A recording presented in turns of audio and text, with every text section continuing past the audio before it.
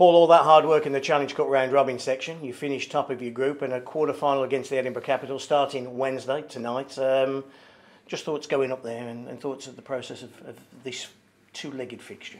Well, we've been going to Scotland a lot. I mean, I think it's our third time in two and a half weeks, and you know, going up and down. It's, we all know the travel in this league, and we travel on the day of a game. It's tough. It's tough for everybody, and uh, so we've got to go up there and be compact and be smart. I mean, we got off to a great start against them, and we let them back in. They have a great skill set.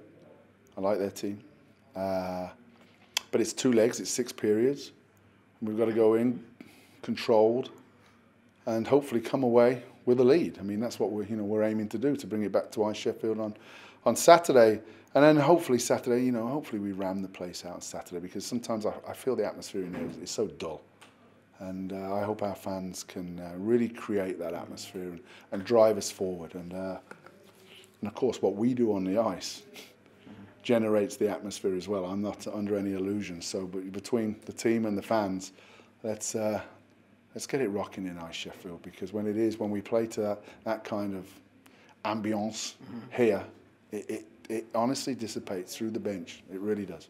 Just quickly talk to us about uh, the, the fixture itself. Do you go up there with a different mindset because it is a two-legged game than you would on a league game?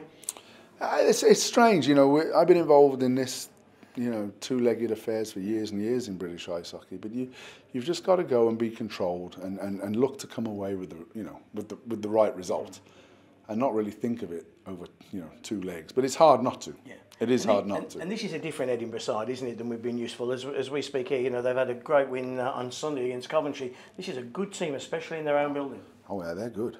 I mean, no bones about it. There isn't a bad team in this league, David.